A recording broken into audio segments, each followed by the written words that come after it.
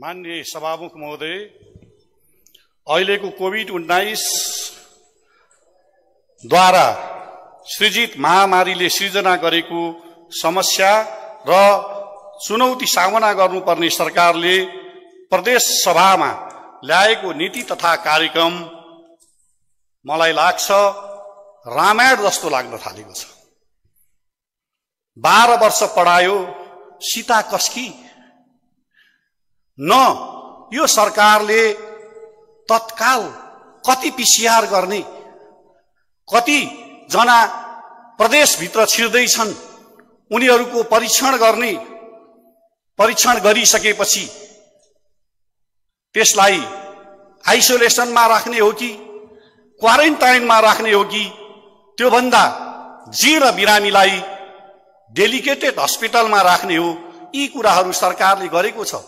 तर कागज र भाषणमा सरकारले भन्ने गरेको छ र हामीले देख्ने गरेका छौँ एउटा मान्छे खोला तर्न लाग्दा एक्कासी बाढी आउँछ र उसलाई टापु बनाएर धन्नै ऊ टापुमा फस्छ चारैतिर पानीले घेर्छ। सरकारले भन्छ पख पख म पुल बनाउँदैछु। सरकारले भन्दैन आफूसित स्रोत र साधन के छ? त्यो स्रोत र साधनले तत्काल टापुमा अड्केको त्यो व्यक्तिलाई हेलिकप्टरबाट हो कि रसी तानेर हो कि त्यसलाई ट्यु दिएर हो त्यसलाई उद्धार गर्न सरकार तयार छैन। सरकारले भन्दैछ पख है म त पुल बनाउँदैछु। पुलबाट तिमीले तर्दै गरौला। बिरामी मर्न लागिसक्यो। सरकारले भन्दै गरेको छ हामी पिसिआर ल्याउँदैछौँ। हामीले टेस्ट गराउँदैछौँ। हामीले हस्पिटलहरू उच्च क्वालिटीको बनाउँदैछौँ। तर जनता त्यससम्म नभई मरिसक्यो। जुन गण्डकी प्रदेश सरकारको अहिलेको कोभिड उन्नाइसको विषयमा टेस्ट गर्ने एउटा गति सृजना भएको छ दिनमा सन्ताउन्न जना।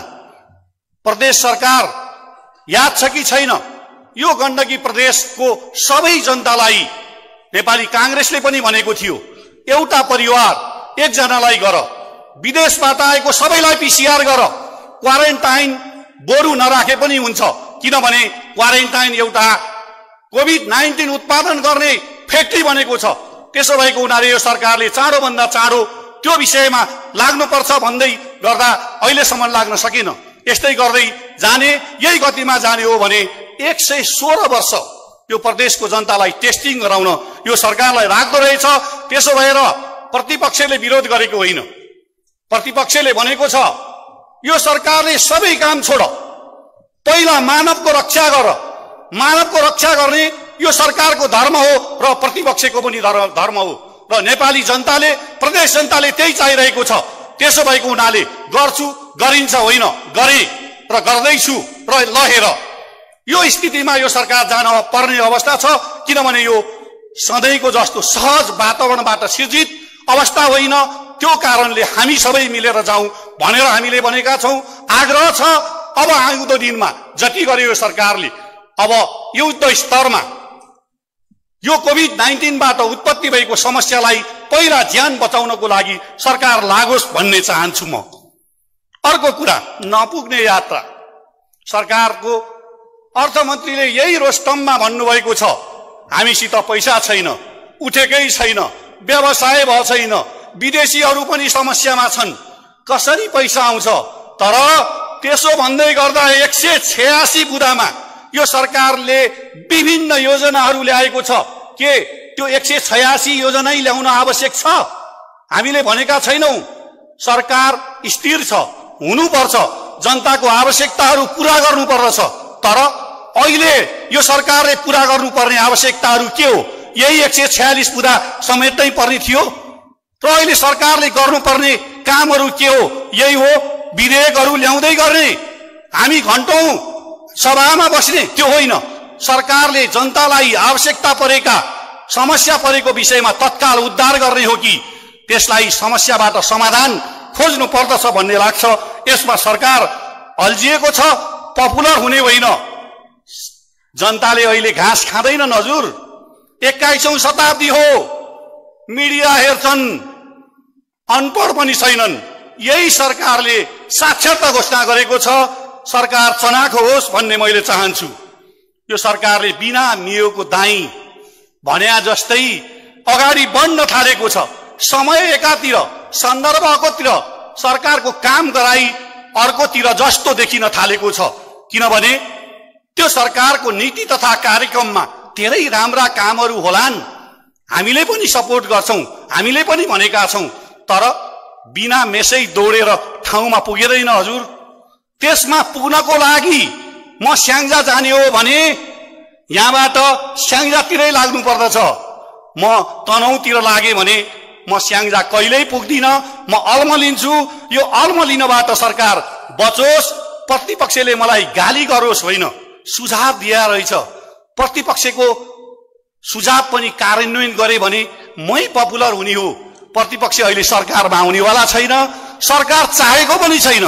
सरकार सफल होस् गण्डकी प्रदेशको जनताहरूले आफ्नो अधिकार आफ्नो स्वास्थ्य स्थिति आफ्नो खान पाउने अधिकार र खान नपाइएर मर्ने अवस्था नहोस् भन्नको लागि प्रतिपक्षले सुझाव दिएको गण्डकी विश्वविद्यालय यो नीति तथा कार्यक्रममा देखेँ मैले। यही रोस्टमबाट मैले पहिला पनि भनेको थिएँ खुला विश्वविद्यालय होला है हजुर। विश्वविद्यालय खोल्नु राम्रो हो तर त्यो विश्वविद्यालयमा कति कलेजहरू आउँदैछन् त? ती विश्वविद्यालय अन्तर्गत कति विद्यार्थीहरूले अध्ययन गर्दैछन् त? विश्वविद्यालयको पदाधिकारी बनाउने त्यसको जमिन छैन। त्यसमा आउने कति कलेजहरू छैनन्। विषयवस्तु पाठ्यक्रम बनाउनु छैन।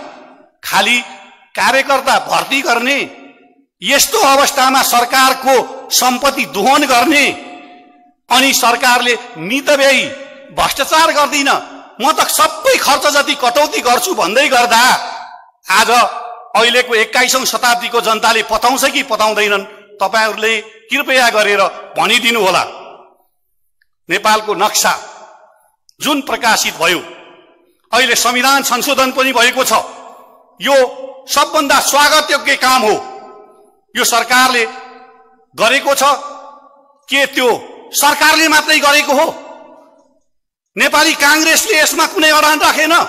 नेपाली काङ्ग्रेसका भातृ सङ्गठनदेखि लिएर विद्यार्थी सङ्गठनदेखि लिएर शुभेच्छिक संस्थाहरूले सरकारलाई डह्रो बनाउनको लागि सरकारलाई हार भरोसा दिनको लागि पछाडिबाट विपक्षमा भए पनि सरकारलाई जाँगर थपेको थपेन।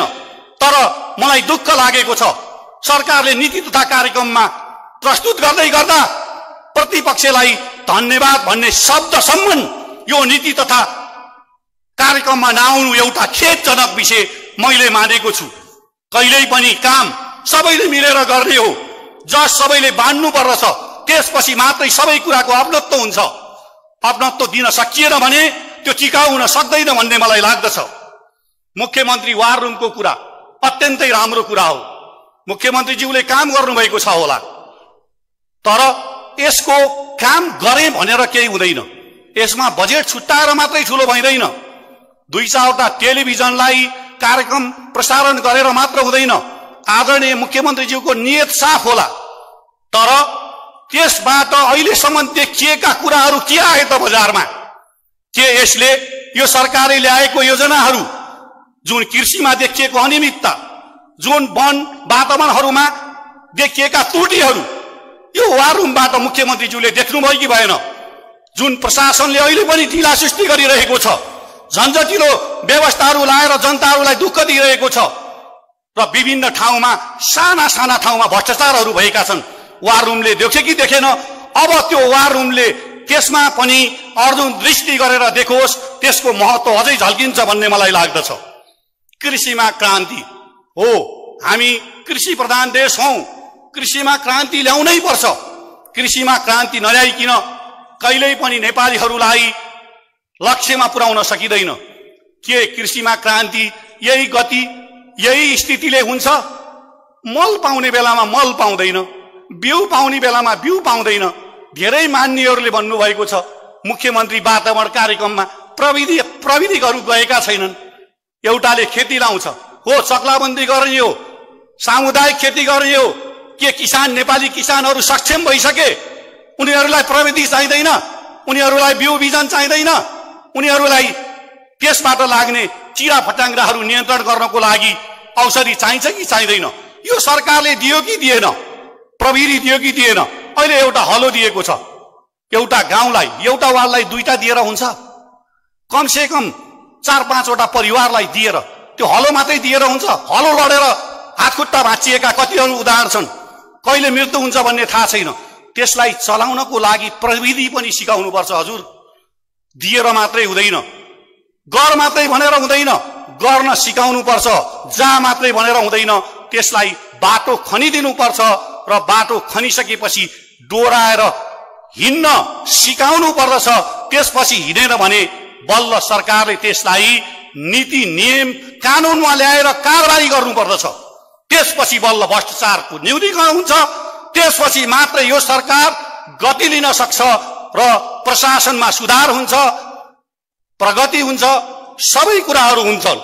त्यसपछि राहतको कुरा गरेँ मैले। के राहत? राहत भन्ने एकचोटि दस किलो चामल दिने जो पाहाडवाला छ जो मान्य मेखलाल जस्तै छ मान्य मन्त्री जस्तै छ त्यसले पास पाउने। जसले विकासको योजनाहरू गर्छ भन्ने। जसले कामै गर्न खोजेको छ गाउँमा विकास गर्न खोजेको छ मुख्यमन्त्रीज्यूको निर्देशन अनुसार यहाँ काम गर्नुपर्दछ व्यवसायहरू गर्नुपर्दछ जुन आहत भएको व्यवसायलाई उत्थान गर्नुपर्दछ अर्थतन्त्रलाई चलायमान बनाउनु पर्दछ भन्ने। तर प्रशासनले नगरेको कुरा वार रुमबाट मुख्यमन्त्रीज्यूले देख्नु भएको छैन।